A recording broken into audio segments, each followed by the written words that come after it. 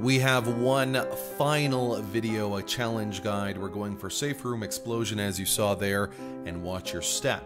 In this Hitman challenge guide, it's a very simple prospect. You need to initiate a code 17.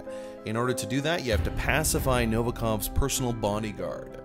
Now, I found the best way to do this without, of course, having to knock out uh, Viktor Novikov himself is to dress like the waiter, as I am right now, head into this room here, and learn about the evacuation process. If you don't do that, then even when you knock out the bodyguard, it won't help you. So it's in Intel, very easy to do.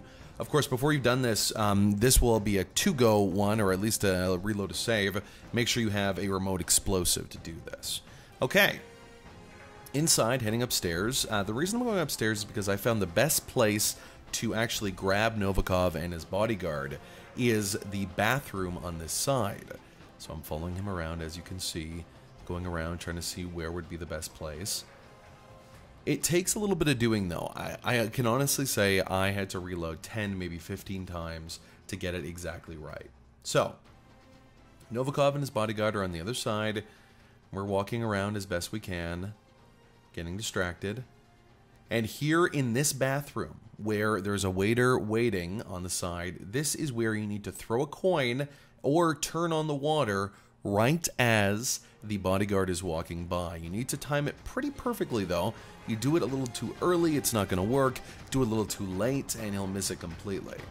So here we are, I slowed it down, opened it up here, and I just got it right.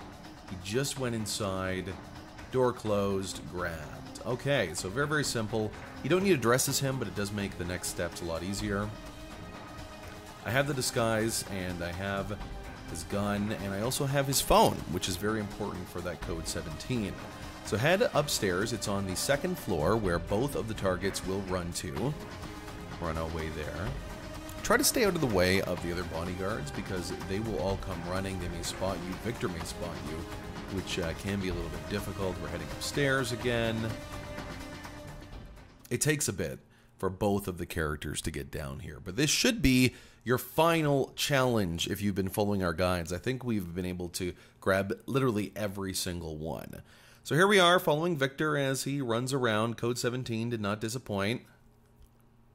Coming into this area here. And there may be some issues, and there may be some glitches here. We had to do this a few times, but as long as you kill both of them with an explosive or with a chandelier, you're to get it all right. So now we have them uh, both in here. We're going for Watch Your Step. This is after the other guards have left. Very, very simple. Both the characters are standing under the chandelier. A quick flip of the switch. Boom. Both dead. Very, very easy. It's okay even if you kill another bodyguard.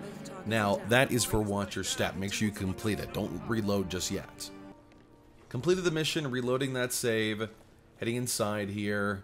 You didn't actually have to do this with a remote explosive, but it is pretty fun to throw a remote explosive, understand that Viktor and Dalia know they're about to die, and then watch them blow up. So here we are, throwing the explosive right at their feet.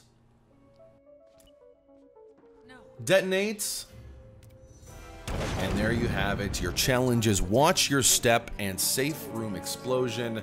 Two of the challenges you probably needed to fill out your memorandum of fun. Keep watching for more. Hey, you. Yeah, you. What's this? Your work, huh? I see you again. Thank you. Thank you. Wasn't that something? Sebastian Sato, everybody. Now, I know what you're thinking. Get off stage, Viktor Novikov. yes, yes, quite right, quite right. This is Sebastian's big. Both targets are down. Great work. Now head towards an exit.